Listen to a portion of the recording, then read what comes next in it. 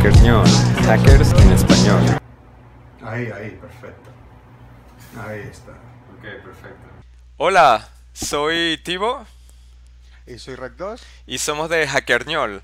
Queremos poner eh, vídeos eh, cada dos semanas en hackerñol.net para hablar de temas de hacking, activismo, vigilancia masiva, privacidad, seguridad, software libre, cyberpunk, en español para nuestra comunidad hispanohablante. Y hoy en este episodio tenemos una entrevista con eh, John Draper, más conocido como Captain Crunch, y con Bernie S. de la conferencia Hope. Eso es. Gracias. bueno, nada, la conferencia Hope es una conferencia que se hace en Nueva York cada dos años. Y es muy interesante porque de todas las conferencias que, que existen hoy en día, no es muy conocida entre la gente nueva. Y la razón de eso es porque nunca se han comercializado. Vamos a ver. y la razón de esto es por la comunidad que tiene esta conferencia. En, vamos, en general, está todo, todo relacionado a esta revista que salió en los años 80, que se llamaba 2600. Y la revista en sí creó una comunidad muy grande de freakers y de hackers. Y fue la primera revista que básicamente, la primera comunidad, no revista, que junto organizó a los hackers del planeta y empezaron con su hackerismo, con el Free Kevin, el movimiento de Free Kevin, con el movimiento contra eh, la MPPA, del Motion Pictures Association of America.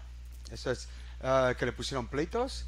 Y vamos, el caso es que han estado, luego entraremos más detalles en otro programa, pero han estado siempre en el punto de mira de muchos gobiernos, de muchas asociaciones, de, vamos, e incluso de otros hackers que trabajan para el gobierno.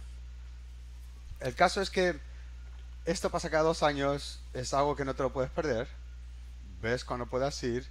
Ah, esta es una de esas conferencias donde pasa gente legendaria, ah, como Kevin Mitnick, el famoso hacker que estuvo en prisión, Bernie S., otro hacker que estuvo en prisión, que vamos a hablar de él más tarde, eh, Manuel Goldstein, que es uno de los que formaron ah, la revista y también el programa de radio Off the Hook, vamos a hablar de ello un poquito, gente como Rehack, un hacker que salió hace mucho tiempo, Richard Stallman, Uh, Redbird, Julian Assange. Ha pasado varias veces por esa conferencia y por la cadena de radio.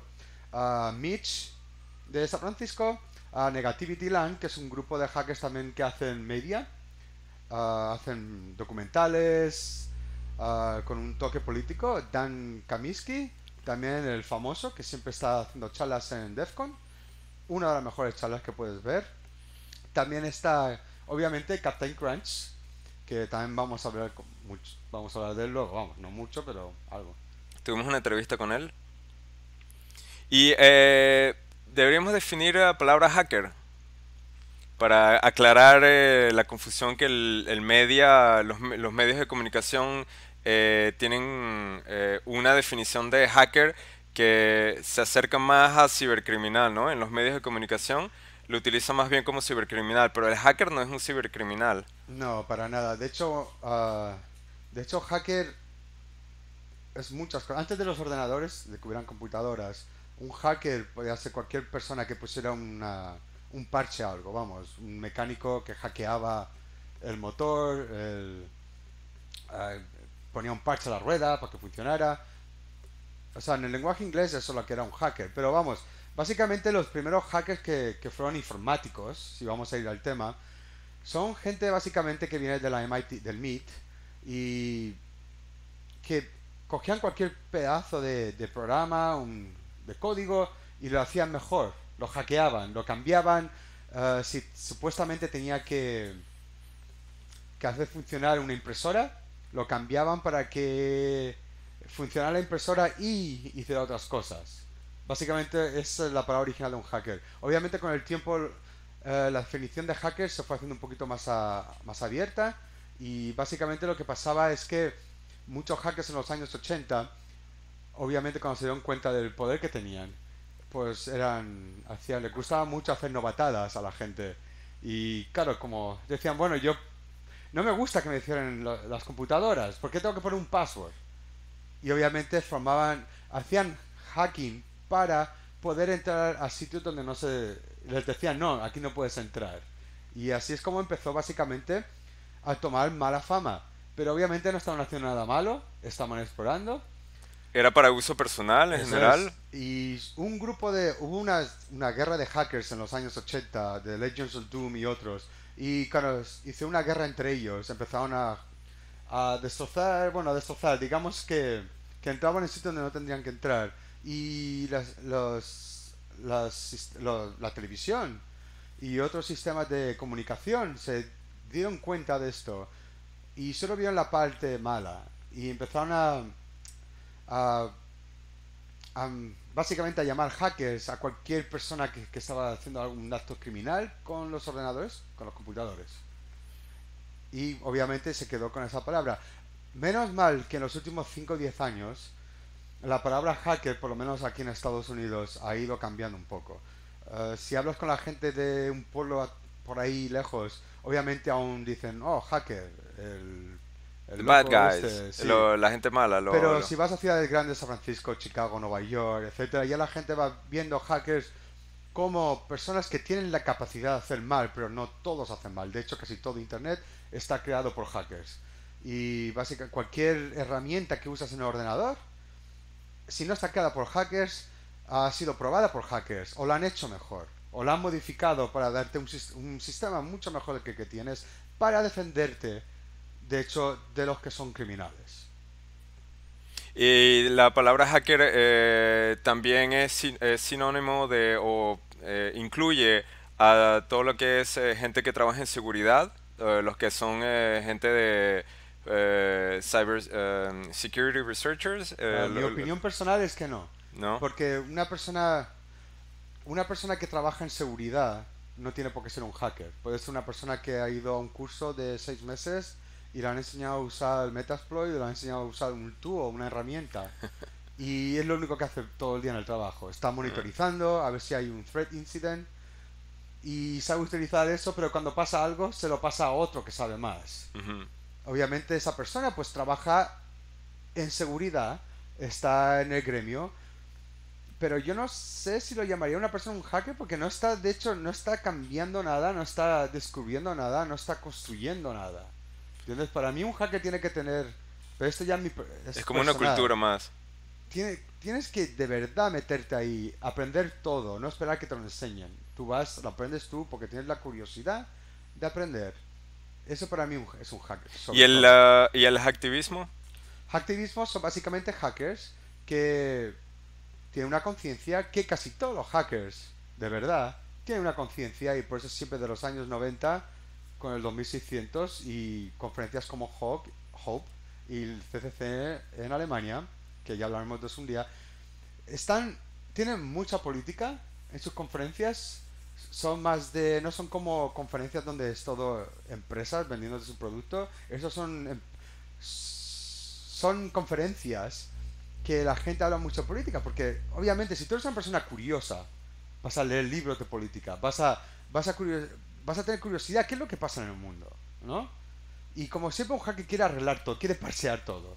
Y obviamente que, que me venga alguien a mí que me diga, un hacker es apolítico. No, imposible. ¿Cómo? Si somos gente que queremos arreglar todo. Vemos un pedazo de software que está mal, corre mal, lo queremos arreglar. Vemos sistemas que están mal, los queremos arreglar. Vemos una injusticia en África o en Estados Unidos o en, en Argentina y lo queremos arreglar.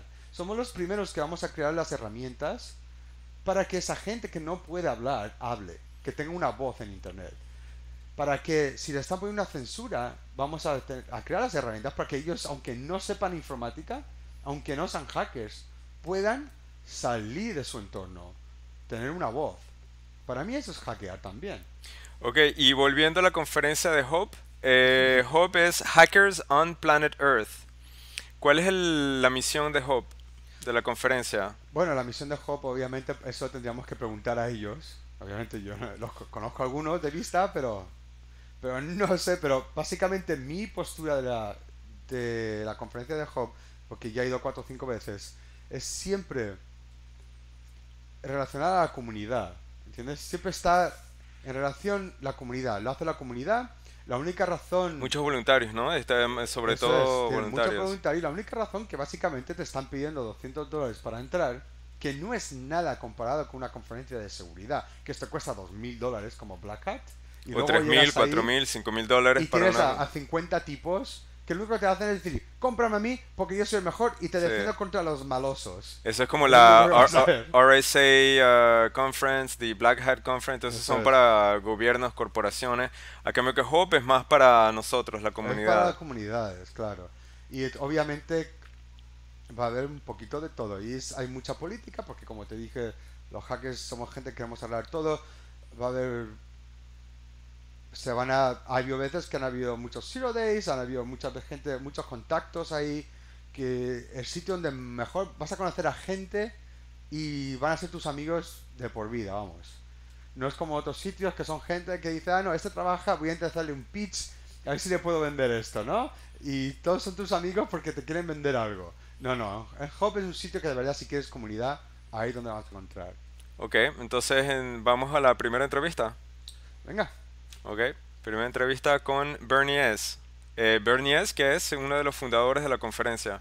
eso es. Hey Bernie, this is Thibaut. Yeah, hold on. Let me plug in my headset. Okay. Can you hear me okay? Yeah, I can Yes. hear you. Okay.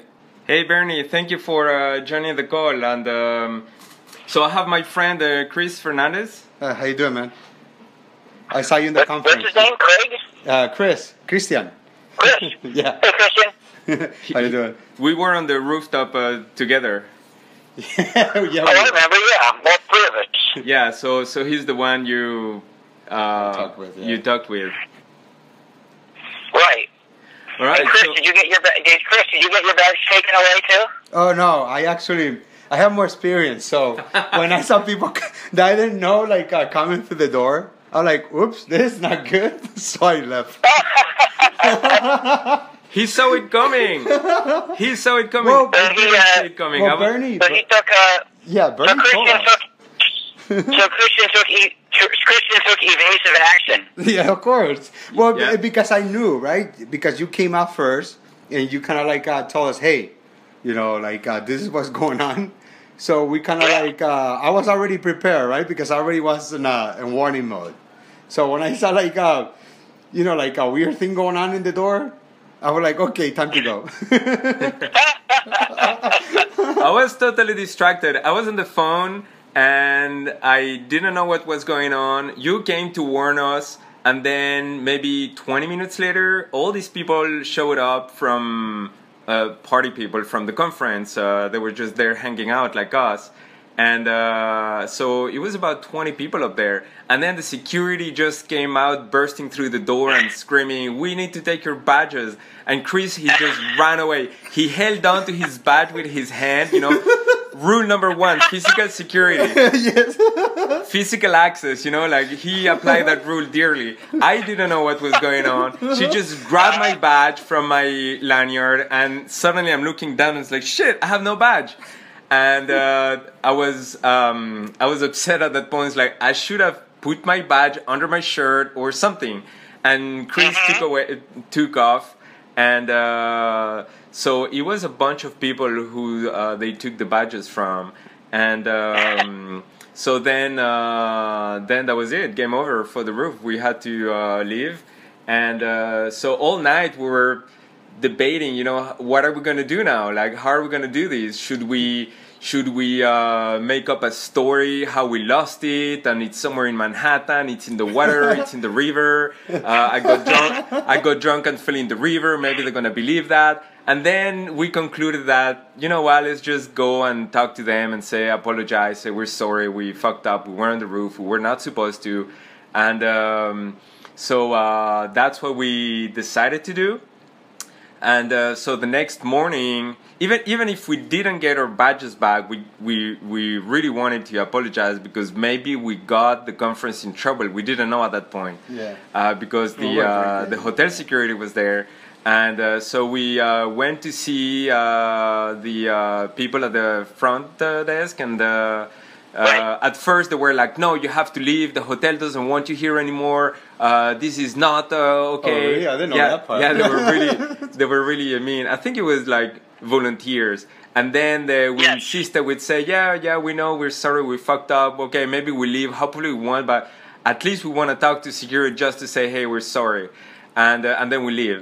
And uh, so they uh, they called security, the conference security, and. Uh, so they came and uh, so we apologized. We said, "Hey, we're sorry. We were on the rooftop. We fucked up. Uh, we didn't. Well, we, we we just heard it's a thing to do the uh, the roof uh, every uh, conference. You know, it's a thing. So we just we just followed. We thought, oh yeah, we'll follow these people and It was and, my uh, friend's fault though. yeah, and apparently it's not okay to do the roof. So we, we told all that to security, and and uh, they said that uh, it's okay. Uh, they didn't want us to be in trouble, so they uh, had to uh, they had to take our badges back just because uh, they had to get us out there uh, fast before the police showed up. And, uh, and and so they said uh, they didn't mean to uh, be uh, a dick or anything. They just uh, they just uh, wanted to, you know, they were thinking ahead of us because we were drunk, we were stupid, we were on the rooftop, we're not supposed to be there, and they did their job being ahead of, uh, a step ahead of us. So. Uh, so they said, you know, we're sorry for what happened, but here are your badges uh, back, but don't do it again. so we got the It was just badges too back. temp- That was it so was cool. just too tempting. like uh, I got like a text from uh, I I've been to Hope a couple times before, and I already know some people. So uh, I got a text right, so and I was like, "Hey, we're on the roof."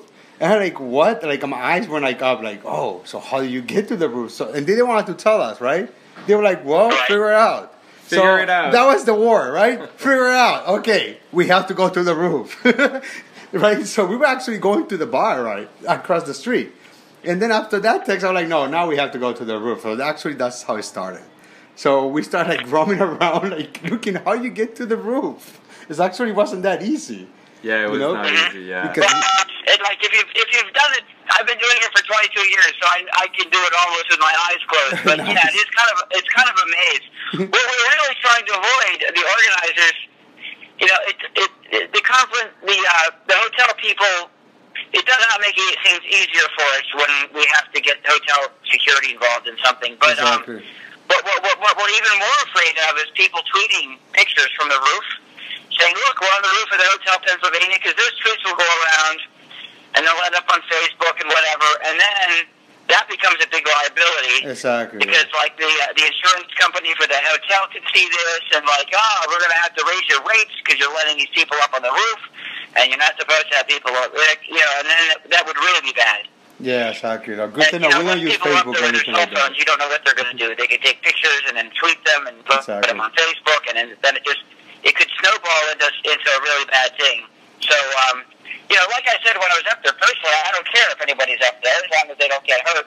But it can have repercussions for the for the conference, uh, especially if stickers ended up on Twitter or Facebook or whatever or Instagram that that you know, hey, Yeah. look, we're on the roof, and then you know, eventually that would get back to the hotel Sure, and the hotel's insurance insurance companies. Insurance companies in the U.S. are terrible about that stuff. They're like, oh, we're gonna have to double your rates now.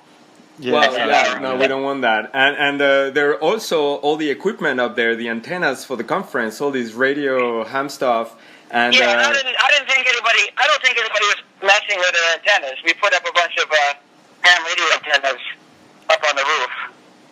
yeah, not our group. yeah, we were. We contacted. Uh, we we were in touch with uh, 15 different countries. From that, you saw on the 18th floor there, there was a radio equipment we had set up on a on a Yeah. table. Mhm.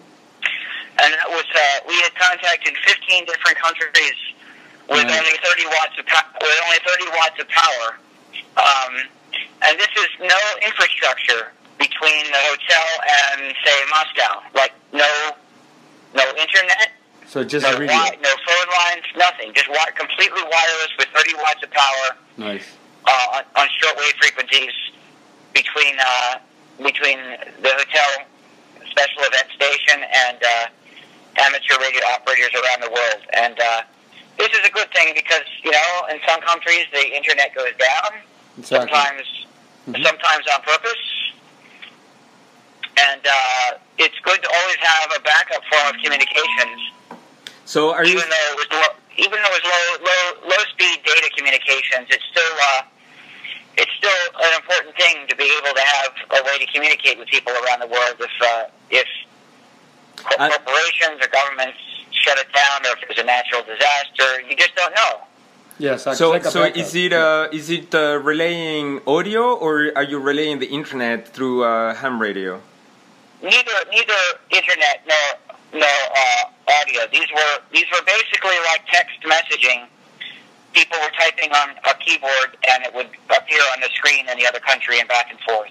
Oh, so yeah, it was using a using a mode called uh, PSK thirty one, and there was another mode they were using that was really slow, like just like like less than one character per second, but it was very it works in very noisy environment, like noisy uh, radio noise.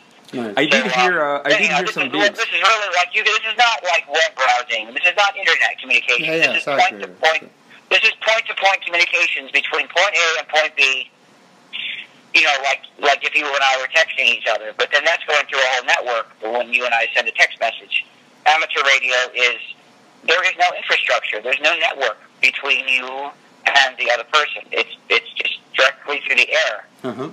So uh, that's just one of the things we do at Hope, and then we we uh, we offered a class for people to study to get the license to do this, and then on Sunday Sunday afternoon we uh, administered the uh, the FCC Federal Communications Commission examination for people to get their license to be an amateur radio operator, so then they can legally uh, operate on these frequencies and and And- just do these uh, magical things. Hey, uh, so our podcast is for sp- Spanish-speaking uh, um, audience. So, of the 15 countries you said you were connected to, did you have any in uh, Spanish-speaking country, Latin America or Spain? Oh Spain? yeah, yeah. Argentina and Chile Nice. and uh, Spain, Mm-hmm. Nice. um, Puerto Rico, even though that's not another country. Nice. Um, where else? And if Well, somebody, we contact we contacted Florida. There's a lot of people that speak Spanish in Florida. yes, it is. Florida, yeah. yes, Miami. and if if next uh, conference somebody Oh, wants Cuba, to, uh, Cuba. we, we contacted we got we contacted Cuba as Oh, well. really nice. Cuba. Yeah, oh yeah, Cuba. Oh. yeah. Viva, Viva Cuba. Viva la revolución. Viva Cuba, La Habana. If somebody wants to join next time, um, they ju- uh, how do they do that? They go on the website and uh, find out the page for uh, ham radio. Well, yeah, go to you would go to hope.net, which the next Hope conference will be in two years, in 2018. Mm-hmm. It's just too much work to do every year. Exactly. Um, and yeah, you will, you can just it would be under the uh, the workshop schedule. Look for other workshops, and there'll be usually. We, this time we did the workshop on Friday on how to, it was like a a two hour study session on what you could expect to be in the test and what to study for. And then Sunday around one o'clock we administered the test um, from volunteers that that have clearance from the FCC Mm-hmm. and we I think about 40, 46 people got their their ham radio passed the ham radio exam. Nice. Forty six people, so that's that's pretty good. It's and it's really ham radio is like the oldest form of hacking. It's been around for more than hundred years. Yeah, Um, I did read about a People uh, it. people have been you know messing around with wireless communications for more than a century, Mm-hmm. um, and uh, it's uh you know it's just a, it's a, it's just another way for people to communicate around the world with each other. But it's been around a lot longer than the internet and even telephones. But it's still you know it's old. It's the tech the the physics have been around forever. Some of the new uh, equipment is better. Like you can use computers now to send these messages instead of using a Morse code key. You can use a computer and and have it. And you don't have to use, use Morse code now. And and there's uh um you know it's just another form of we're all about communicating, whether it's uh, amateur radio or or um So, uh, Bernie, you know internet. uh, yes. so you guys been doing this ham radio thing since the start of uh, Hope? Since the first Uh, one? not the not the very first one. I think it was. I don't think we started doing the radio station part of Hope, the, the amateur radio station part until about twelve years ago. I think was the first time. Mm-hmm. So, so I think that was uh, maybe 2004, which was uh, the Fifth Hope. I think that was when we decided to set up an amateur radio station, and uh, it's gotten better every year. It takes a few hours to set up the antennas on the roof, and I get permission from the hotel, and they're okay. And uh, Bernie, why is it important to uh, relay communications? Uh, why is it important to uh, uh, have um, this ham radio and this conference? And uh, why are we doing all this work? And and um, what has changed in the last few years in that in that space of telecommunications? I, I, I think well, I don't know if a lot has changed in the past few years, but I, I do think that governments have been increasingly uh, shutting down communications in different countries. Uh, telephone, internet, you know, this happened in uh, in Egypt. Uh, I think it happened recently in Turkey. They mm-hmm. shut down internet communications, telephone, you know, and this is another way you can communicate and get around the government uh, li- limits on what you can do. Um, and also there are, there are disasters. You know, there are earthquakes and floods, and you know, and all the all the telephones can go down, internet can go down. But this is just it's just another it's another way. I mean, it's not uh, it's not fast. It's very slow, but it is it, it is, is something. It's, yeah. it's a challenge, and it's it's totally free. There's nothing between you and the other party you're communicating with. It's all and just to think on like 30 watts, about you know less power than an average light bulb, you can communicate with somebody halfway around the world without any infrastructure between you and them. Is I think is pretty amazing. And the but that's just one. Mm-hmm. That's just one part of hope. There's so many other parts of hope. That's just one of many, mm-hmm. many things going on. Yeah, what else is going on at Hope for people who haven't been there? There's uh, workshops. There's uh, lots of speakers. How many speakers do uh, do you bring to the conference? We had we had about 150 speakers this year. And so uh, that's with three tracks. We, you know, there were three different rooms where there were speak, speakers talks going on, but some of the talks were panels with maybe five people on them. But it all added up to about 150 speakers over three days. And there's no way anybody can see them all because there's three tracks going on at once. But we put everything online as soon as possible. Um, or you could buy a DVD there of a particular talk if you wanted to take home. Mm-hmm. There are three um, three tracks, and then there is the fourth one, which is the uh, is it like like an open mic? Right. We call it yeah, we call it yeah, I call it an unscheduled track. Unscheduled Some track. people that submit, we get hundreds hundreds of people submit uh, uh, proposals to do a talk, but there's not enough room in the schedule to put everybody in, and we have. To, I'm on the speaker selection committee with the with four other people, and it's a lot of work going through hundreds and hundreds of submissions, and you have to, you know, analyze each one to see if this person really knows what they're talking about. Did they give this talk somewhere else before? Are they a good speaker? Is the topic going to be sufficiently interesting? Um, all these things. Like if it's a panel, do these people get along well? I mean, there's there's just we we exchanged several thousand emails um, to put together the the lineup of the talks. I think three or four thousand emails this year just to that's pretty just good. To, you know, figure out what talks are going to be yeah. on. Uh, Bernie, um, the, fourth, the fourth, the fourth, the fourth track you asked about the unscheduled track. Mm-hmm. Some people who submit a talk, it does not get accepted, so they sign up for a slot in the fourth track, um, or they just might be like uh, Lynn Ulbricht, uh, Ross Ulbricht's mother came Yes. Yes. He's, a, Silk, he's a Silk Road guy. And He, she she gave a talk. That room was packed full of people. Yeah, it was. Yeah, we and there. people people wanted to hear what she had to say because uh, no, even if her son was guilty of everything they said, it's giving him multiple life sentences without parole. It's just crazy. Yeah. And exactly. it was not a it was not a fair trial by any means. It was a very harsh so, sentence. Yeah. So uh, you know, I as a mother that cares very much about her son, and she's just trying to get the word out and ask for help. Was it but, the first time she spoke uh, publicly about uh, about the case? Oh no, she's no. been going. She's been going. Just the first time she's been to Hope, but yeah. she's been um, she's been going to other conferences too to tell you know to to try to get other organizations to help. And uh, well, I don't know if the Silk Road arrest was that was that more than two years ago or was that less than two years ago? Um, I don't, I don't remember. remember. Yeah, not two years. It's probably more than two years. And, yeah. I think it was more than two years ago, but the case was really they couldn't really talk about the case while it was while, before the trial. Exactly. Yeah.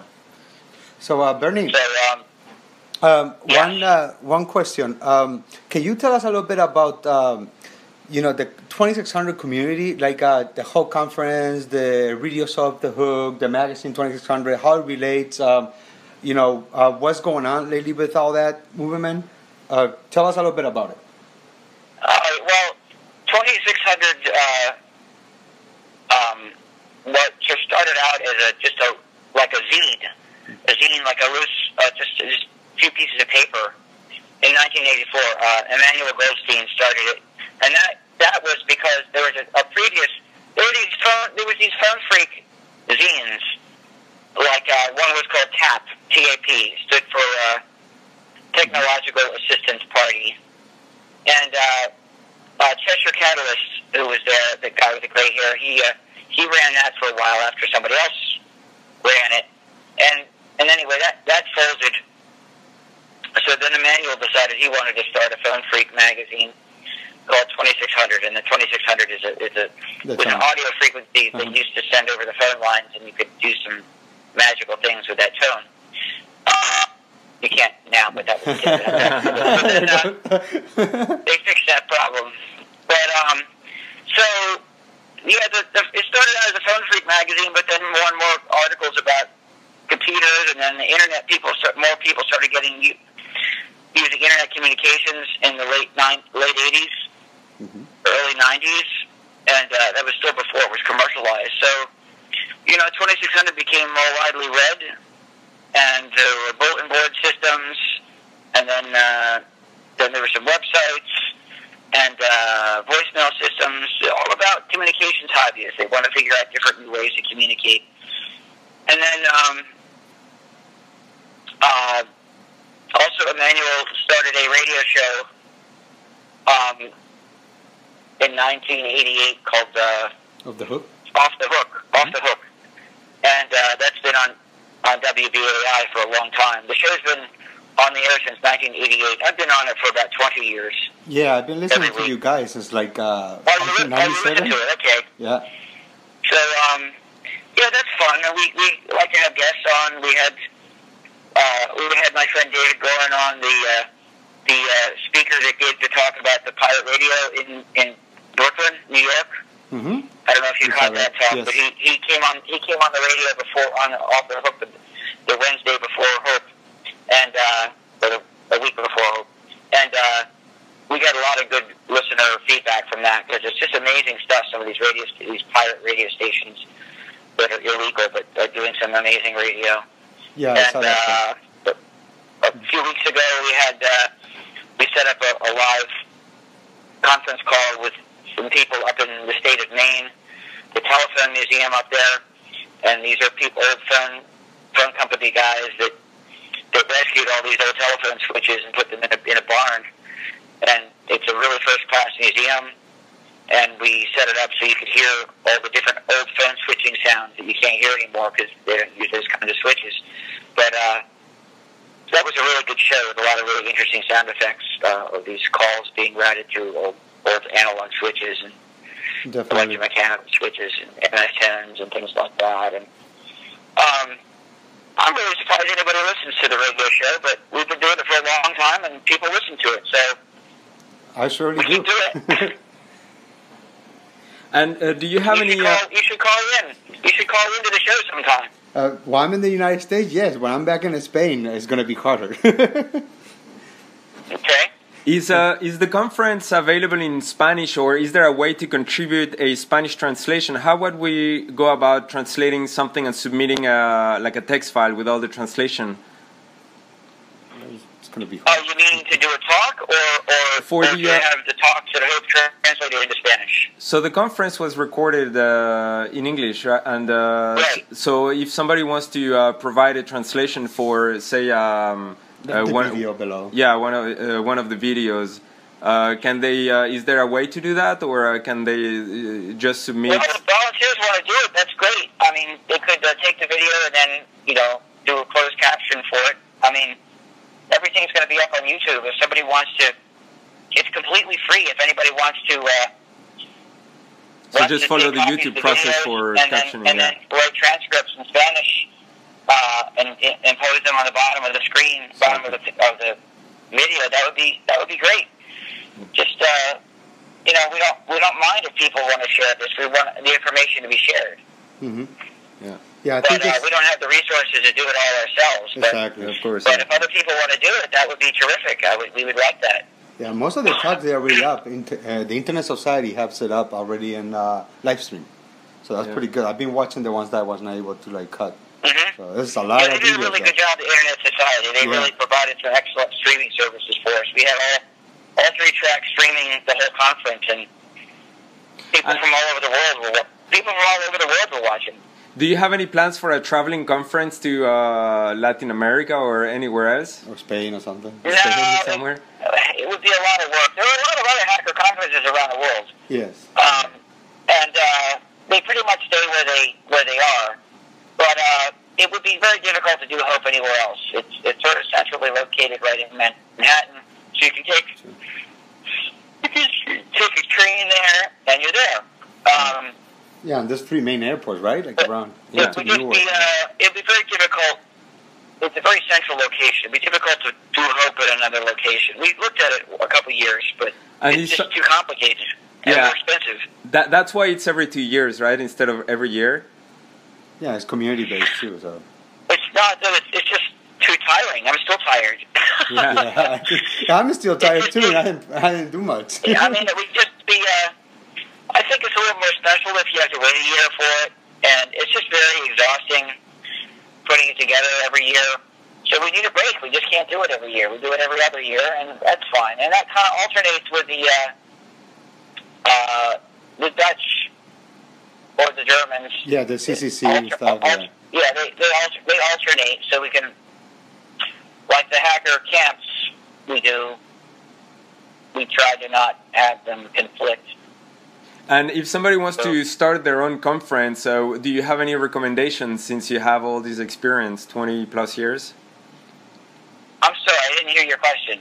So yeah, what would you, uh, what would be recommendations uh, for somebody who want who would want to start a conference? Say they uh, there's a country that doesn't have any of those conferences and they want to start a conference like this uh, to talk about these issues.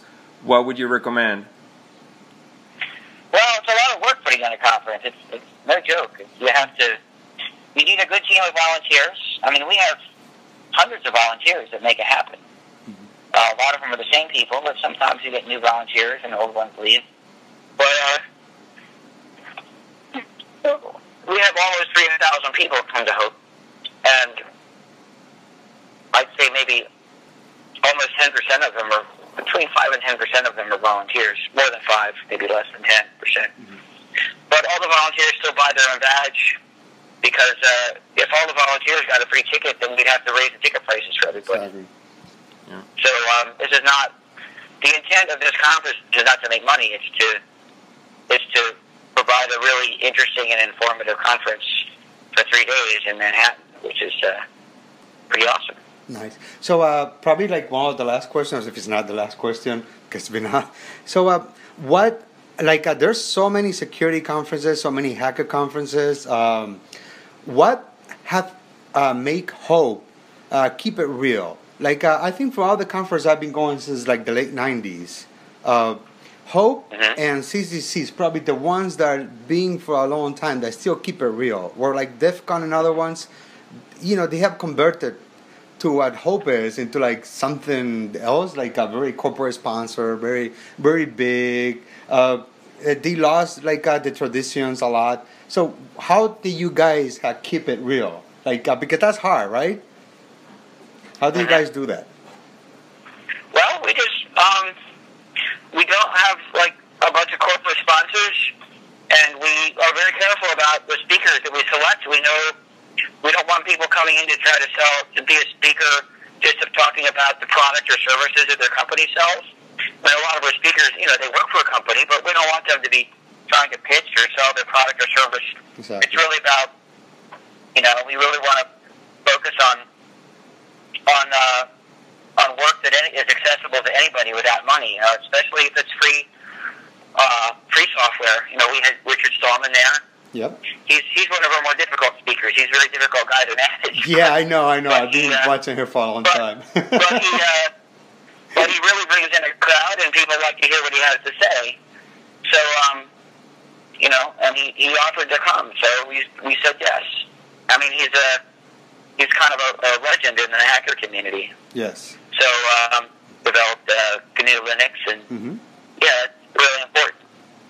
Uh, we had a lot of whistleblow, a lot of government whistleblowers, a lot of people that, who who took information from our government and made it available to others, so that um, you know information can get out to the public that really should be seen, so we can make educated decisions Okay, as citizens as to what our government's doing. Um, I mean, that's uh, Yeah, It's something Yeah, you pretty much put it. So basically, like um, one of the reasons I personally like Hope is because uh, you guys focus on the community, like uh, real the real issues that's going on, and you know, not just in the hacker community, but you know, in the world, in every society. You know, there's societies that you know the governments may be more repressive. There's societies like uh, in the Western societies that um, governments may they are repressive somehow, maybe not as much, but you never know what can happen in ten years, right? Our government could become repressive.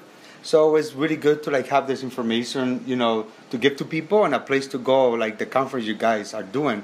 I really ap- appreciate it. So I think in the name of um, everybody, in, you know, back in our countries and our our, our language speakers, uh, we really appreciate appreciate because uh, I know there's people that takes a lot of knowledge out of this. Uh, I have friends that literally have, you know, they listen to like uh, talks from Hope and they actually put it in the neighborhoods, like uh, so everybody can have internet, not just people with money.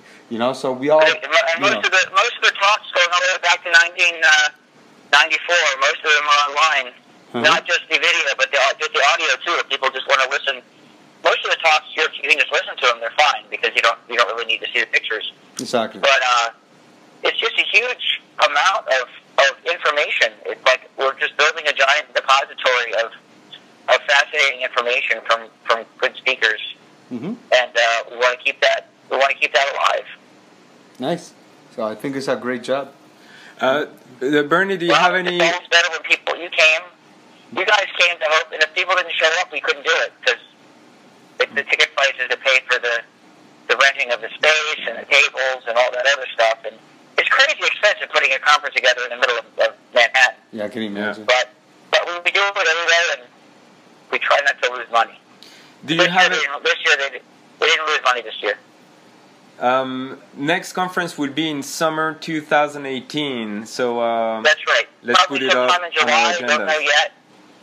Mhm. But uh, we have to work that out with the hotel. But it'll probably be in July 2018 at the Hotel Pennsylvania, which is right across the street from Madison Square Garden, near uh, Penn Station in New York. And do you have any uh, last message for the Spanish-speaking uh, community? Anything in Spanish you want to say, or anything target for them? Hmm. Let's see. I just, uh, you know, I want to thank you for uh, coming and for know, interviewing me, and I'm sure there's some other people from from uh, other Spanish-speaking countries that came to Hope, and we want to make it uh, more accessible to, to everybody. Uh, even though it's all in English, you know, it's that way in Germany too. The, the CCC Congress is it's all in English too, so you got to pick a Yeah, you got to pick one language. And uh, but again, I hope uh, I hope people in your community decide to uh, start transcribing some of these hip talks into Spanish so that uh, more people can uh, can read them and understand what's going on. Exactly. Yeah. To be more accessible, basically. And uh, we'll translate this uh, call and uh, our podcast will translate it in Spanish. So uh, whatever you say will will uh, be translated to Spanish. So that's uh, that's great. And uh, that's it. We don't have any other uh, questions. Yeah, just uh, thank you so much for your time and like uh, it was, and I like I said like uh, I appreciate a lot what you guys do for the community all over the world. You know, it's Well, you probably you. don't Thank you know it much. enough. I look uh, look forward to seeing you again in two years. Looking Okay. forward to seeing you again too, Bernie. Thank you very much. All right, take care. okay, man. Thank thanks. you. Bye bye. Okay, bye. Eso fue una entrevista con Bernie S., que es uno de los fundadores de la conferencia Hop, Eso que empezó en, lo- en los años 90. Llevan ya eh, No, de hecho, él 11. empezó en los 80. él- veni- él- a él le gustan mucho los sistemas de telecomunicaciones de radio y siempre estaba metido mucho en el movimiento con, con freakers y con gente de teléfonos. Vamos, que ya lleva un buen tiempo. Y em, la próxima conferencia, no se la pierdan, en Nueva York, el verano 2018. Eso es. Oye, y perdonar que es un poco rata la entrevista porque es que como aún somos nuevos aquí grabando, no somos nuevos en para otras cosas, pero para esto sí que somos nuevos. Fue último minuto y no tuvimos el audio perfecto y bueno, espero que con el, eh, los subtítulos eh, ustedes puedan entender el, el audio. Eso es, eso es, pero vamos, menos mal, menos mal. Vamos a la segunda entrevista. Venga, va. Ok, la segunda entrevista con John Draper, eh, más conocido como Captain Crunch en los años 70, que uno de los primeros Freaker. Freaker que es Phone... ah, phone freaker. Phone Freaker. Que sí. básicamente es, un s- mm, es jerga para referirse a una persona que hackea ah, las redes de teléfono. Que básicamente que antes de los computadores estaban las, donde jugaban los hackers eran las, los sistemas telefónicos que también tienen sus switches y tienen sus routers y tienen, vamos, Antes del internet, antes de las pero eso es computadoras, antes de todo mi eso. tiempo también. o sea que- Sí. bueno, vamos a la entrevista con eh, Captain Crunch. venga, vamos. Glad to meet you. Glad to meet you too. Should I call you uh, John Draper or Captain John. Crunch? Just call me John, yeah. All right. So famous Captain Crunch, very well known uh, for uh, being one of the first uh, hackers to uh, use the blue box to uh, get free phone calls. Yeah. Is that how it started? That's it. The uh, that was in the uh, what years? The 70s. Yeah, early 70s. 71, 72. I got busted in 72, so it had to be around that area, early 70s. And And, I, everything. and basically, I took the rap for it. You know, I mean, they, they threw the book at me, man. They wanted to lock me up and throw away the keys. Bad mistake on their part, because what I did was I was teaching everybody how to do it in jail. And that was bad for them, because then everybody knew how to do it. they wanted to make an example out of you, and then people started And that doing was the their same yeah, thing. that was their bad mistake because because of me that uh, that got them that got that information out to the wrong group of people. Because when I was in jail, every criminal wanted to make him cheat the phone company. yeah. So I was pretty popular back then too. I'd have phone fleet classes right in front of their noses. You know what I'd do? I told them that I was doing some hardware classes in electronics, and that the project was to build some local oscillators, and those were really the blue boxes. And I gave the frequencies out and everything. Police didn't care; they didn't care what I was doing. It was all just sort of like uh, a kind of a ruse for them, and uh, that's sort of how that involved. So I wasn't uh, really. Uh, uh, I didn't really want to do that, but they kind of forced me to do that. It's like Edward Snowden; he didn't want to live in Russia, but they forced him to live in Russia by by uh, validating his passport. Yeah. Now he's living in Russia. There's so many uh, cases like that where uh, hackers who are doing either security research or white hat hacking or hacktivism are being taken as an example and put in jail. Same thing with Julian Assange. I mean, Julian Assange uh, was wanted in Sweden for such a frivolous crime; it was just ridiculous. And, uh, and the British government says, "Well, we'll." Uh, so he sought he sought refuge in uh, in the Ecuadorian embassy. He's there ever since. Yeah, he's still there. Has Yep. anything changed since you were busted? You said in '72 up to Lots now. of things changed. They changed the system around. It took them 10 years to do it, but they finally did it. But by that time, 10 years later, the phone, the phone, the phone was so cheap to use, long distance calls, that it didn't really matter that you you can use a blue box. It was practically free. And then when Skype came out, and all the VoIP apps came out, you could make free calls anywhere in the world for practically nothing. And now, and their video calls, and the quality of the audio is far superior to the quality of the phone system. If you ever used WhatsApp, uh, the WhatsApp phone system, uh, that's the best, highest quality VoIP app I've seen was WhatsApp. Then there's Signal. Signal is darn good too. It's better than PSTN. PSTN is all broken up and it's scratchy and not good fidelity, a lot of distortion. But uh, a Signal and uh, WhatsApp are really good, you know, or Skype, you know. And you said Telegram. Telegram is also good. Telegram it doesn't let you do voice to full duplex. Telegram is just a text Text, yeah. a text system. Yeah. You mentioned earlier you use uh, one in uh, the US and the other app in uh, Europe. Why do you use one here and uh, another one there? It's because most people in Europe like to use Telegram over Wickr. Over here, it's that people like to use Wickr. It's just a preference in what country you're in, you know. In Japan, they'll use a program called Line, L-I-N-E. Yeah, I know that one. Yeah, it's not good at all. Yeah. It's uh, it doesn't go point-to-point encryption. You get all these ads flung at you and all this stupid. It has malware and everything on it. Yeah, it's a it's a pain in the neck. So what? I used it for a while to communicate with my friend in Thailand, but it wasn't that good.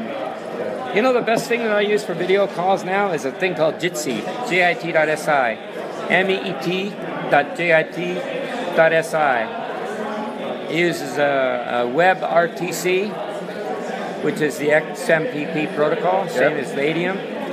It's encrypted, high, good quality video. I'm transmitting HD video from my place. It's good quality, very stable. Uh, So that means it's web based. It's uh, Yeah. JavaScript. yeah, uh, you can, any, any, any browser that supports web uh, web RTC, it'll work. which comes with HTML5. Uh, so re- any recent browser.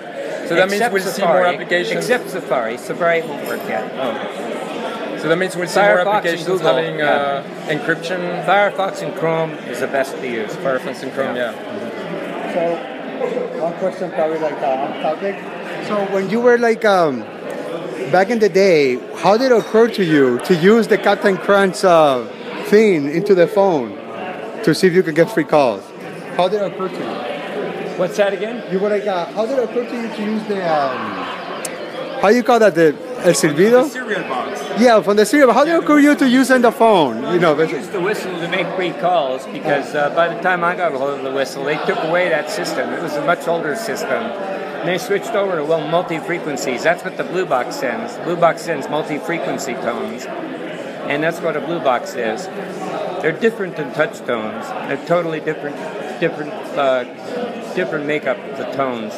So it's not the same as uh, not the same as uh, the touch tones you get. You just call up an 800 number and you send 2600 or blow the Captain Crunch whistle into the phone. You get a little chirp sound, and then when you get that little kerchink sound, then then you just do you do KP, which is an opening tone, area code and number, and then a start tone, and then and the call goes through. It diverts from the 800 number to your call. Uh, and what are you selling here today? Uh, you uh, have a T-shirt, uh, an a- unbox. This is a Dynabox. What this is, it's a Tor router. So it, it, it, it's- it contains its own computer running Debian. I think it's running Debian, I'm not sure. And it's got Tor installed on it. It's got a very nice web browser for interfacing and configuring it up so you don't have to go through any kind of complex, you know, configuration files and Who, things like who that. Who makes the Anonabox? Anonabox, anonabox.com. Is, it a company? Is it a Yeah, they're, they're, they're, yeah, they're located in Chico and these are made in China. located in Chico. Chico, California, yeah. And so you said it's a Tor Tor, client. T-O-R. Tor The client. Tor router. Tor router. Yeah, so I guess it, it, would be a, it would be a client. Yeah, And so so you just plug the uh, say the computer, the laptop to these uh, with the uh, Ethernet port. And what do you need on the uh, laptop? Just a browser. uh, this goes to your, your your internet connection. The other end goes to your laptop or computer. You can either do it that way, or you can just simply turn it on, put it in your backpack, and you can use the Wi-Fi router.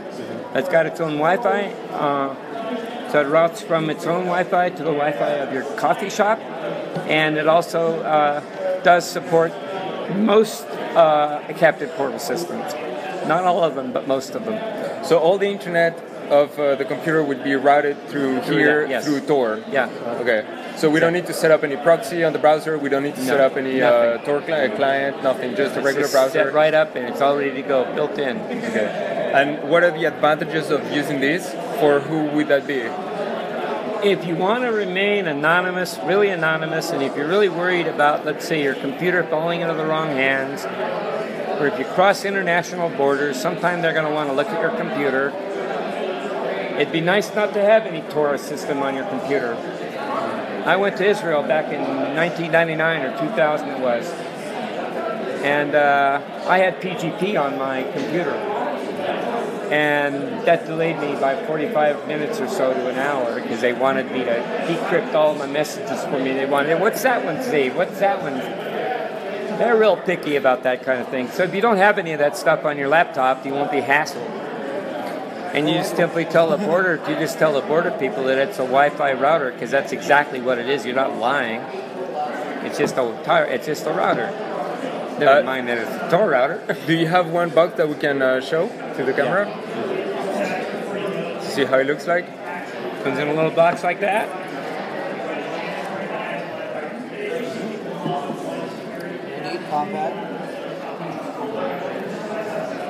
All right. It's got a little pamphlet manual inside. It's all the other information you need. And how much does the anonabox cost?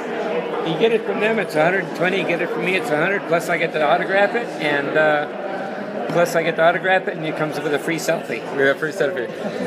That's great. Why is it important to uh, fight for anonymity? Because the government is getting there is too nosy into our affairs lately. The government needs to stay out of our face. Look what look at look at what NS look at what uh, Snowden revealed in 2013, man. When he came out with his Snowden revelations revelations in May or June of 2013, man, it just woke the world up. At that point, they realized the NSA wants everything. They want to sniff the world. They want to know who is talking to who. And they've got and they've got all these different systems. They've got this Stingray system that that taps into the cell phone system. Oh, by the way, speaking of Stingray, if you've got Open BTS and smart enough, you can make your own Stingray in a backpack. But a Stingray basically intercepts all your phone calls in a certain given area, usually a, usually a closed area within about a block or so. Like if there's a demonstration, the police will be out there and with their little uh, Stingrays, but you, they're not going to tap you because you're using Signal. There probably uh, are stingrays right now at this conference somewhere, maybe. I wouldn't doubt it. I wouldn't doubt it either. And is there any, what is the difference between anonymity, privacy, security online, freedom online? It's all kind of the same thing, really. You know, it's anonymity kind of covers everything. You know, I mean, you're anonymous, they're not going to bother you. If you're anonymous, they're not going to even know that you exist. It's always better that it's always better for them not to know that you exist, as opposed to them knowing who you are, but yet still not getting to your data because you're encrypting it. If you're that way, you're a target. If you're a target, then they're going to put more resources to try to decrypt it. But if they don't even know that you're out there, then that's anonymity right there. That's important. It's important to like not be on their radar at all. If you're on their radar, then they're going to want to. If they if they have a very good reason, they're going to want to decrypt your thing, and they can get in any computer they want to right now. And why are governments doing that? They say they claim that it's to stop terrorism, but I don't believe that. I think they just want Big Brother control. I think it's all about control. Control of its Heaven forbid if Trump gets elected, we're going to be in a world of shit. If nothing changes, what do you think will be the next 10 years, 20 years? I don't know. I have no idea. A pretty scary place? yeah, probably. Yeah. Very, very scary. Where can people find you nowadays if they want to uh, look at your work, communicate with you? Facebook.com forward slash JD Crunchman. Can we show this publicly? Yeah, yeah.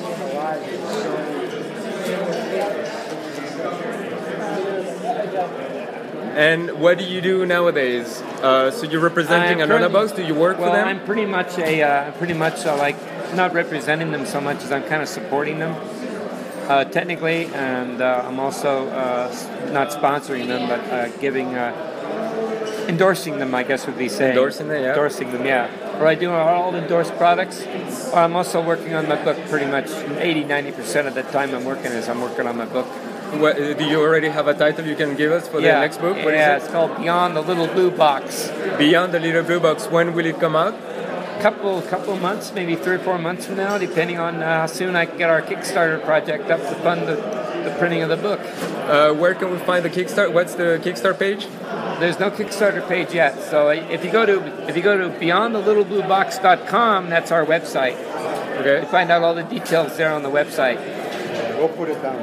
Yeah. Yeah. What other uh, products are you working, uh, endorsing, helping with? Um, that's pretty much it.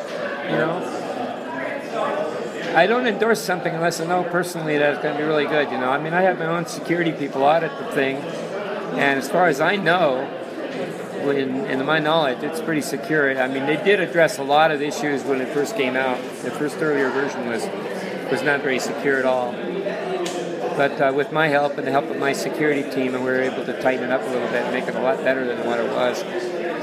And how can people help you yeah, support? Do you accept donations? Uh, buy the book? Well, how can Get people? the book uh, or contact me on Facebook and help help Yeah. support me and and uh, and follow me on Facebook is what they can do right now. Is follow me on Facebook yeah. because uh, all those only those people that follow me on Facebook are going to be in the know of when my Kickstarter project comes. Because if you don't know when my Kickstarter projects come, it'll probably be all over by the time you figure out that, that it exists, and Yeah. you won't get all these little perks that are going to come with it, like a like a blue like a blue Anonabox Yeah. one with a Captain Crunch whistle as a thumb drive. You're not going to get that. And the, and the thumb drive, we're going to put software on it too, like PGP and stuff like that on it, so you can have a key management system. Hmm. You can put all your encryption on the on the Anonabox, so you can have everything that's secure, uh, not on your laptop. And that way, you're not going to be on anybody's radar. You can stay off the radar completely. Do you have any uh, special message for Spanish-speaking people? Since this is a podcast for Spanish-speaking. I don't know. Except I really, I really appreciated the, the response I got in Bogota, Colombia, couple, three years ago when I went to the uh, when I went to the uh, uh, the campus party. I felt like a rock star, and I want to thank all those people down in Bogota who were very supportive of me.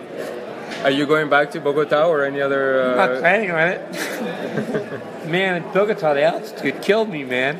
It's cold, it's shivering. Yeah, it's called, it's in the mountains. It's on the equator and it's getting so freezing cold, you know, it's crazy. Altitude. yeah. Yeah, I got I got a little bit of an issue with altitude. It really kind of sucked me up. Are you doing any uh, speaking, um, any world, uh, other conferences? Where can people catch you on the next If they sponsor, if they sponsor the cost of me giving a talk, sure, I'll give a talk. Will you go to DEF CON, B-Sides? Yeah, I'll be there. You'll be there? I won't be at B sides, but I'll be at DEF CON. DEF CON, all right. I was at B sides last year Yeah. in Berlin. Oh. And um, if people want to have you give a talk, they'll contact you on uh, Facebook They or contact me uh, through these numbers here, yeah, and then I will refer them over to my uh, my publicity manager, who would Okay. take care of all the details. Okay. All right. All right. All right. Thank you very much. You bet. Thank It was a pleasure. Okay. Thank you.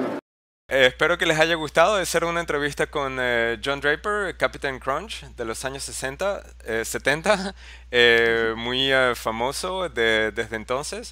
Y Blue Bags y por su silbito de los cereales. de sí, el, sil- eh, así fue que lo llamaron eh, porque la caja de cereales se llamaba eh, Crunch, ¿no? Captain Crunch. Captain Crunch era la caja de cereales que tenía un silbido y así fue que hacían los tonos del teléfono. Eh, ok. Bueno, y bueno, yo, a ver, vamos a explicar un poco a ver cómo lo pasamos nosotros, vamos, un poco, ya dimos un poquito de historia, así, un poco La chunga, conferencia fue el bueno, viernes, sábado, domingo, tres días. Fueron tres días, pero nosotros llegamos el jueves por la noche. Sí. Y ya el jueves por la noche yo no quería beber, pero ya me vició ahí. Así que empezamos a hacer el tonto en la habitación y, y al día siguiente ya me levanté como mierda. Pero bueno, vamos a ver. ¿Tú qué, qué piensas de.? Es, es su primera conferencia. Para mí es la primera vez que voy a Vamos la a ver. conferencia, Hop. Yo había ido ya antes a DEF CON, al CCC en eh, Hamburg, DEF CON es en Las Vegas. Había ido a B-Sides en San Francisco. Y eh, Hope es mi primera, primera vez. Y eh, me gustó mucho porque comparado con las otras conferencias me pareció más como CCC, que es un poco más radical, más underground, más este, comunidad. DEF CON me pareció como más una fiesta grande de todos americanos. Eh, Hope me pareció como que más eh, al tema de más eh, hacktivista en el sentido de la, la política, de defender a los derechos de, los, eh, de nosotros, de los hackers activistas, los que trabajamos en la comunidad de la, seguridad. Eh, si encontramos una falla de seguridad, el gobierno eh, pone sentencias muy fuertes a la, a la gente y los pone en, en prisión. Y entonces toda esta gente de la comunidad, hay muchos abogados, hay muchos este, gente que sabe del tema del cómo mo- eh, hablar con el gobierno para eh, eh, cómo manejar el sistema para sacar a la gente de la prisión. Eh, comparación entre este caso que lo metieron en prisión porque fue era algo relacionado con el tema de computadores y seguridad eh, comparado con otro gente que ha ido a prisión por otros temas de homicidio y tal. Y hay una gran diferencia en, las sentencias de la gente de eh, temas de seguridad de computadoras son muy fuertes las sentencias. Quieren hacer un ejemplo. Entonces esta comunidad, Job, me pareció que está bien enfocada en eh, ayudar a esta gente, en prevenir, en... eh, em, em, sí, eso, me pareció que era bastante eh, activista en este sentido. Es original, vamos. Sí, Es, es- sí es como era cuando yo empecé en los 80, así es como era. Yo era un niñito y toda esta gente, Bernie S. y, y vamos, y Fiberotech, toda esa gente eran mayores y, y eran mis, no mis ídolos, pero vamos, siempre estaba leyendo de ellos, ¿entiendes? Eh, me conectaba a BBS y todos los documentos eran de ellos. Y yo, mierda, esta gente, y mira, y ahora voy a estas conferencias, los conozco y aún siguen ahí, siguen aún por la comunidad, nunca se vendieron, nunca hicieron un producto y se hicieron millones, nunca hicieron una compañía que está en Silicon Valley, nunca intentaron explotar a nadie. Y, aún, y eso, vamos, eso para mí tiene mucho mérito. me gustó que estaba el, eh, como siempre ahí el EFF, que es el eh, Electronic Frontier Foundation, Eh, Free Eh, Foundation, el también, FSF, Free Software Foundation, el, está GNU, la Cruz, la Cruz Negra Americana, que es un grupo de anarquistas que dan soporte a la gente que tiene problemas psicológicos, que soporte a prisioneros, sobre todo, ayudan a, prisioneros, a compañeros hackers que están en prisión, como Jeremy Hammond, ah, recaudan fondos, bueno, ustedes pueden verlo en Wikipedia, donde quieran. Estaba también la American Civil Liberties Union, eh, ACLU, estaba también el eh, Freedom of the Press, Freedom of the Press, Freedom of the Press. Y justamente Freedom of the Press tenían eh, Bcrypt, tenía eh, eh, tarjetas postales para enviar a Chelsea Manning a Eso prisión. Eh, entonces llenamos una tarjeta para dar soporte moral a Chelsea Manning. Eh, estaba Lynn Ulbricht, que es la mamá de Ross Ulbricht. El, el eh, eh, sí, el, el- a- allegedly. Eh, así fue como lo inculparon. Supuestamente. Supuestamente. la historia del Silk. Sí, el capit- eh, Capitán Dreadful eh, Parrot. Sí, algo así en inglés raro. Sí. Vamos. Y, y entonces ella estaba ahí explicando el caso. Sí, ella estaba. es- ella estaba ahí defendiendo a su hijo, explicando la importancia de ese caso, porque la sentencia fue particularmente fuerte, y eh, explicando cuál es la consecuencia de ese caso en particular a la comunidad en general, porque están eh, eh, tomando. eh, ese es uno de los casos en los que están haciendo un ejemplo eh, muy fuerte eh, para él. Jeremy Hammond es otro que lo, lo- le dieron una sentencia Compañero. muy fuerte. Hay una campaña para Free Jeremy Ha- Hammond. Eh, estaba Mitch Altman también, aquí vecino de San Francisco. Que Mitch Altman es alguien que ha, eh, lleva mucho tiempo en la comunidad también y él ha creado un hackerspace aquí muy famoso que se llama Noisebridge. Eh, y bueno, había mucha gente de IFF. Eh, lo que me gusta también de la conferencia es que hay workshops, tienen eh, no solo charlas, tenían como 100, ¿no? 100 eh, speakers, Sí, había 150. muchos talleres y eran Y talleres, buenos. sí. Algunos talleres era como escribir exploits. ah, habían talleres de política. cómo- Disassembly. Cómo hacer tu propia radio pirata. Si quieres tener una radio para divulgar tus conocimientos a, a- a la gente de tu barrio, lo que sea. Vamos, que, que a nosotros nos puede parecer una tontería, pero hay muchos países donde la gente no tiene los recursos y una radio pirata es, es importante, vamos. Sí. Sí, todo lo, todo el, el- la manera de difundir la información, mientras más se difunda la información, mejor. Que sea por eh, radio, que sea por eh, modem. Hay países que todavía utilizan modem. Walkie-talkie, vamos, lo que Walkie-talkie, el internet rápido, banda ancha, banda pequeña, banda baja, eh, eh, mientras, o eh, también en, en, en, eh, en periódico, en papel también. Es Sí. importante seguir el trabajo. Tiene el sign, de hecho el 2600, que hoy estamos hablando, era uno de los primeros hacker signs que han habido, pero recomiendo mucho el sign FRAC. Puedes ir a frac.org, creo que es, si no, búscalo en Frag con. PH. Sí. PHR. la eh, mejor- la mejor revista de hacking que existe. Muy vieja, ¿no? O sea, Muy tiene, tiene tiempo De hecho, muy es muy establecida. popular porque ha salido mucho, muchas vulnerabilidades grandísimas, como el buffer overflow. Se publicó ahí la primera vez. Sigue cada, cada vez que sacan un número, te vienen como 10 artículos, pero tiene una calidad enorme y son buenísimas. Y aún siguen, vamos, siguen verdaderos a la causa aún, que es lo- otra cosa que me gusta. Sí. El buffer overflow y también yo me acuerdo eh, de haber leído mucho de Frag por las pistas magnéticas de las tarjetas de, de pago. Ah, también, sí, para los de carga. Había mucho trabajo ahí en Frag. ¿Y a ti qué te gustó de la conferencia? Bueno, a mí me gustó, comparado con otros años, me ha gustado mucho que he visto a, la, a la- nuestra comunidad, las he visto un poquito más mayor, nos hacemos mayores, desgraciadamente. Así que cuando prim- la primera vez que fui en el año 2000, 99, 2000, así, éramos todos, teníamos 20 años, teníamos, éramos unos soñadores y queríamos cambiar el mundo, pero de una manera más de hablar y de querer que de, de realmente poder.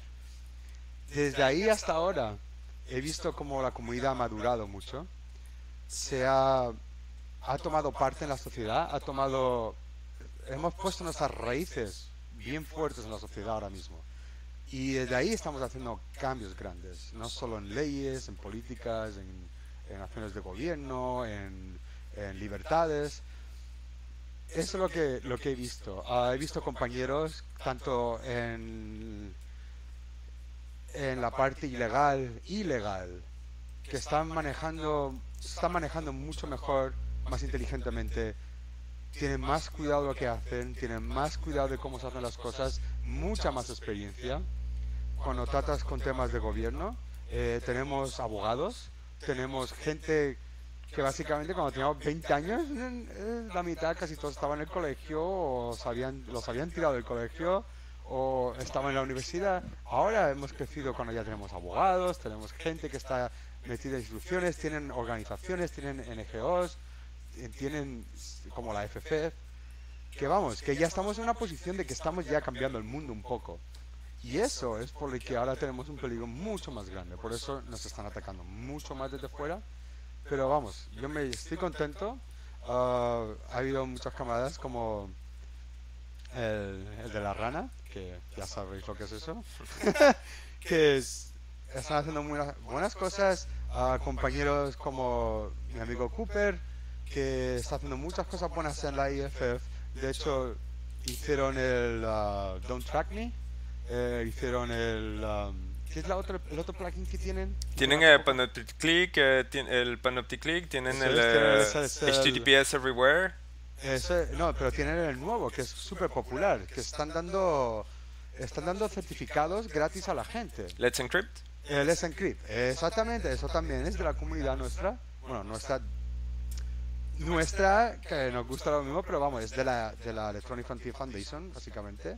Pero todo eso, nuestros amigos tienen mucho que ver ahí. Mozilla también, ¿no? Eh, eh, Eso es. eh, con Let's Encrypt.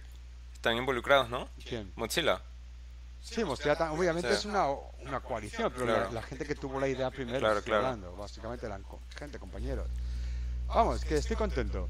Y cada vez que voy, no fui la última vez, desgraciadamente estaba lejos, no tenía tanto dinero y, y fui a Descon y no fui ahí y es una pena, porque la verdad, voy a Descon porque está cerca, pero me gusta mucho más Home, mucho más. Y la verdad es que vale la pena las, las cinco horas de viaje.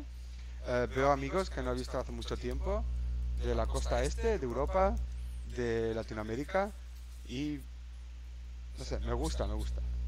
Em, el, el- el- dentro de dos años vamos a volver y a ver, que nos faltó hacer un shout out. a- hemos hablado de Free Jeremy Hammond, de Russell Bridge, eh, Chelsea Manning. Nos faltó hablar de Julian Assange, de Wikileaks, es. que también él es un eh, activista trabajando muy duro para em, denunciar a los gobiernos, eh, para pedir em, eh, accountability, para que los gobiernos sean tomen responsabilidad por sus acciones, eh, como toman acciones en secreto que van en contra de los principios de la democracia y de las leyes del país y no tienen ninguna consecuencia, lo pueden hacer impunemente. Julian Assange, Wikileaks está trabajando duro eh, para eh, contrarrestar eso.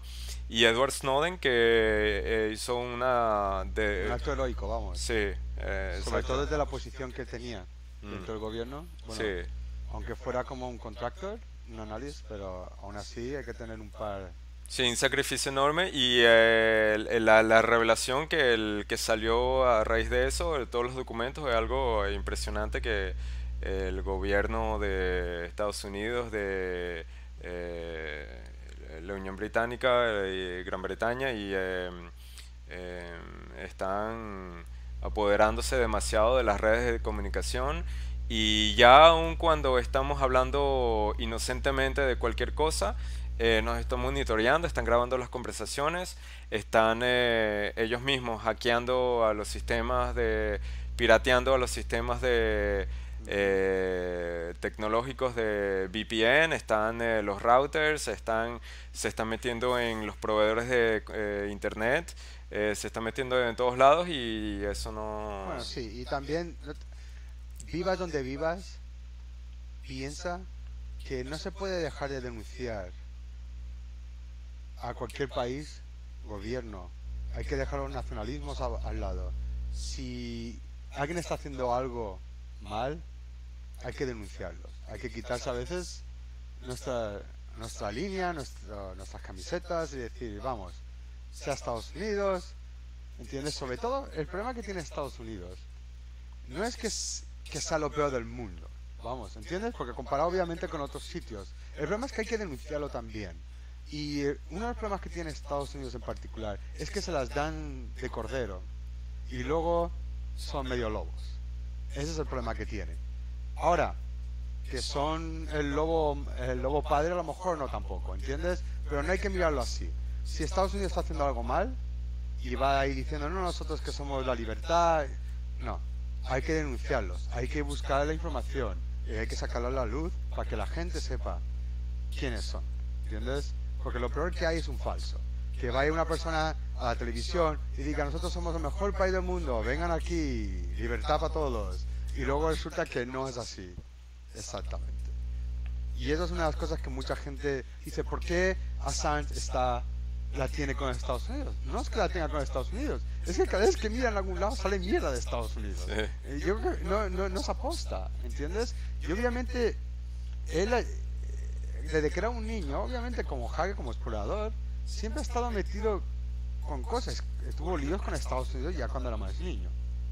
Pero es lo que yo digo, es, a ver, ¿quiénes son los que, a ver, si tú estás viviendo en Australia y tú quieres cambiar el mundo o piensas que aquí hay cosas malas, ¿cuál es el país donde tú mirarías, a ver, ¿quién tiene bombas atómicas? Mm, ¿Quién es el que está siempre en- una guerra constante? Estados Unidos, entonces ¿dónde vas a poner los ojos? ¿Entiendes? Ahora, que eso significa que la gente de aquí están, que van a cortar la cabeza como hace ISIS o otros? No, obviamente. Cada cosa tiene su lugar, pero no por eso tenemos que dejar de denunciar. claro. Eh, esa es nuestra responsabilidad cívica. Como ciudadanos es de eh, eh, respeta- eh, asegurarnos de que nuestros derechos como ciudadanos estén eh, respetados y que haya un balance de poder entre el pueblo y el gobierno. Y, em, quitar el gobierno, ya, sé. ok, y, eh, y la semana que viene, ¿a dónde vamos? La semana que viene vamos a ir a DEFCON. Ah, bueno, vamos, de hecho, primero vamos a la B-Sides, que B-Sides es algo nuevo. Vamos a hacer un programa sobre B-Sides y DEFCON, pero B-Sides es también muy eh, comunitario. Ah, también van algunos camaradas. Es buena gente, pero es muy nuevo. Se hace en todas las ciudades y es como una mezcla entre Hop y Defcon. ¿Entiendes? Está bien si tenéis la oportunidad de ir, ir, obviamente, no es, no es tan malo. El único, la única conferencia que os voy a decir que no te gastes el dinero es Black Hat. Es la única. Las demás todas tienen sus cosas buenas. Pero vamos, vamos a ir a V6, eh, que se hace, de hecho, la razón que V6 se, llama V6 y se hace al mismo tiempo que Black Hat es para eso, para que los compañeros, los hackers que no tienen mucho dinero, puedan ir a una conferencia antes de DEFCON sin tener que gastarse los mil dólares y lo hacen exactamente los mismos días. Es como una opción. Y así es como empezó V6. Y em, entonces vamos a B-Sides Las Vegas, eh, vamos a DEFCON. DEFCON Las Vegas, va a ser toda la semana, la semana que viene. Siete días. Le llaman el Hacker Camp, el campamento de los hackers. Yeah. Así es la, así es la televisión de aquí, vamos. Sensacionalismo. Que vienen los hackers a Las Vegas. Ok, y eh, si ustedes están en algún sitio que no tienen acceso a, este tipo de conferencias, no tienen acceso a este tipo de... Claro, porque nosotros aquí en la Silicon Valley tenemos acceso a muchas cosas, afortunadamente. Si ustedes no tienen acceso o si tienen poco, quieren más, ¿qué puede eh, hacer la gente? ¿Acceso a qué? Eh, por ejemplo, eh, Hackerspace, pueden empezar por hacer un Ah, Hackerspace. tú te refieres a comunidad. Sí, Ah, que, para crear una comunidad. Sí, obviamente. Todo en- depende de ti. No esperes que los demás hagan nada nunca por ti, porque eso nunca va a pasar. Entonces, si a ti te gusta mucho, mucho tu comunidad, si estás aprendiendo mucho de, de otros hackers más mayores que tú, es tu manera de dar para atrás, ¿entiendes? Es, es- es- tú recibes, pero también das. Básicamente, en tu ciudad, créate un hackerspace. ¿Y qué es ah, un Hackerspace? un hackerspace es un, bueno, puede ser mil cosas, pero vamos, el hackerspace, el típico de siempre, es un, básicamente puedes arriendar o alquilar un, local entre un grupo de 10 personas o en tu habitación, si no tienes dinero, tienes una reunión, coges a tres o cuatro personas de tu comunidad que estáis interesados en lo mismo y intercambias ah, información, Facebook- Hagan proyectos hagan juntos. proyectos juntos, crean software juntos. Cómo hacer un setup de Wi-Fi seguro, cómo hacer un setup de VPN, cómo hacer un setup de, de un. Tor, un, un- un Tor, eh, eh, cómo utilizar un Tor browser Eso para es. la anonimidad o cómo hacer eh, setup un Tor router también. Sí, empiezan así y cuando ya tienen un poquito ya más de experiencia, entonces lo que tienen que hacer es abrirse a la comunidad. Y entonces todo lo que ustedes han aprendido por sí mismos se lo enseñan a los demás. Y así vas creando, vas enseñando a ver cómo, por qué no usan mamá y vecino, por qué no usan WhatsApp, por qué tienen que usar Signal, ¿entiendes? ¿Por qué? Y va explicando, va cambiando a la gente poco a poco.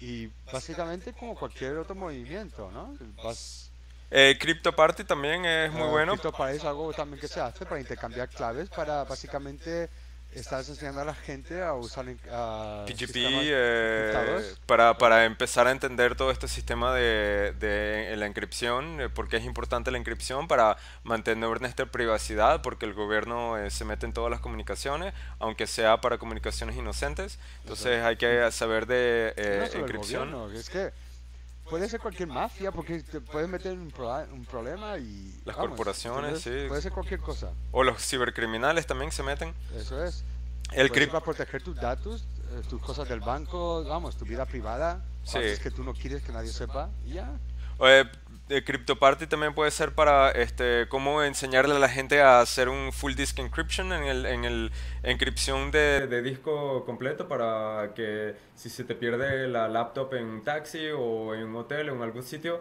eh, para que los datos no sean accesibles tienes que tener el disco encriptado. Em, también pueden difundir información como sea en la universidad, en tu escuela. Eh, puedes hacer este, si tienes algún sitio donde a, a- poner afiches, información de eh, cualquier tipo, películas, si hay alguna película, un documental. corregir a la gente cuando dicen open source, que tienen que decir software libre. eh, Sí, open source, software libre qué son- diferencia hay entre el software libre y el open source. ah, vamos. La diferencia de hacker, si alguien utiliza la Eso palabra es, hacker, o eh, cibercriminal. haz la diferencia. Claro. Eh, y democráticamente, acción directa también. Acción directa es algo muy popular hace muchos años entre compañeros y ahora, mismo, ahora que tenemos sistemas digitales, también se hacen sistemas digitales. Eh, también eh, Hope está en inglés y si ustedes quieren traducirlo, eh, Bernie nos dijo que para traducir los vídeos de Hope están en YouTube, Exacto. entonces sigue Ah, el- Aún no están en YouTube, están en el otro sitio, en el... en el live stream de él, en el ¿no? live stream ese, Sí. no sé qué, pero van a poner en el canal de 2600, los van a poner ahí eventualmente. Y entonces sigue el proceso de traducción ahí. Él dijo que lo iban a poner en YouTube. Entonces en YouTube es Sí. fácil hacer la traducción. Solo tienes que escribirle más un, un fichero de texto con el timestamp. Hay herramientas que lo hacen. Hagan la traducción y lo ponen en, eh, en el, ahí en el YouTube. Y de- luego de ahí, eh, una vez que está traducido, o, por, o aunque sea escrito, transcribe en, en inglés, luego se puede, eh, con Google Translate, el, YouTube, el mismo YouTube lo puede traducir Eso es. como pueda, lo mejor que pueda, a cualquier idioma. Y eh, hablamos de donaciones y ahí, si quieres hacer donación, también puedes hacer el Free Software Foundation, como siempre, Sí, la el Free Software- IFF, Free Software Foundation, la IFF, Freedom of the a Press, 2600, ACLU. suscribiros a la revista. Si tienes Es algo local buena. en tu país, haz donación ahí. Eso. O ayúdalos a organizar un evento. Si necesitan voluntarios, voluntarios es una de las formas más fáciles de contribuir. Tener cuidado, no contribuís a gente que no lo que hace de los bolsillos grandes, que de eso hay mucho en el movimiento de la seguridad. Por eso, siempre buscar movimientos que son de verdad de comunidad y que son leales al movimiento hacker, básicamente. hay de todo últimamente, hay que tener cuidado. Y, eh, y ya, Y creo que ya, porque si no se hace esto muy grande, ¿no? Sí. Y vamos a volver cada dos semanas. Es Eso la idea. espero, si se puede, es la idea. Si a ustedes les gusta, eh, díganos algo en eh, los comentarios, difunde la información, eh, haznos saber que si te gusta. si no por mi lenguaje, que llevo viviendo en Estados Unidos ya como casi 15 años. Sí, a mí el, el español Y- es mi tercer idioma también. Y claro, y como siempre estoy hablando en inglés con toda la peña aquí, pues se me va la pelota un poco. Cada vez que vuelvo a, a España o voy a Colombia o algo, estoy ahí una semana y otra vez lo pillo todo. Pero cuando vuelvo aquí, estoy un mes o dos, otra vez. Y bueno, Se me empiezan a olvidar las palabras en español, empieza el acento así medio yankee, ya... Vamos, bueno, y yo mamera. por mi acento, seguro que habrán adivinado, yo soy de Venezuela, Caracas y Valencia. Y eh, saludos a saludos a todos los amigos en eh, México, Argentina, Uruguay, Paraguay, Bolivia, Argentina. Chile, Arge- eh, eso es. Ecuador, Perú, eh, que se nos olvida, bueno, Ecuador, luego Centroamérica, Colombia. eh, Colombia, Honduras, Guatemala, eh, Salvador. Costa Rica, El Salvador. Puerto Rico, que aunque sea Puerto una Rico, colonia claro. de Estados Unidos, lo siento, ya tendréis la independencia. eh, y eh, ¿dónde es el otro país que habla en español en África? Guinea Ecuatorial. Sí, hay varios países hispanos por ahí también, pero vamos, la verdad Bueno, es que saludos a todos ustedes. no soy un profesor de la hispanidad, así que no. bueno, y saludos a mi gente Cuba, de... saludos a Cuba. Ah, saludos a Cuba, obviamente. Ah, saludos a mi gente de Alicante, en España. Oye, si ustedes en Cuba nos ven, eh, porque en Cuba no tienen eh, internet. O sea, lo tienen, pero de a Sí, poquito. tienen. Sí, Sí, tienen, pero sí. muy lento. eh, Bueno, eso es lo que nos dicen. mm, Yo no me creo nada que me dicen. ¿Entiendes? Bueno, No si ustedes están en Cuba, díganos que, Díganos cómo es la cómo está la situación situación allá. por ahí y a lo mejor podemos ayudar. Sí. Y, eh, ok, entonces, eh, hasta la próxima vez. Tibo. Rectos. Hackerñol.net. Hackerñol.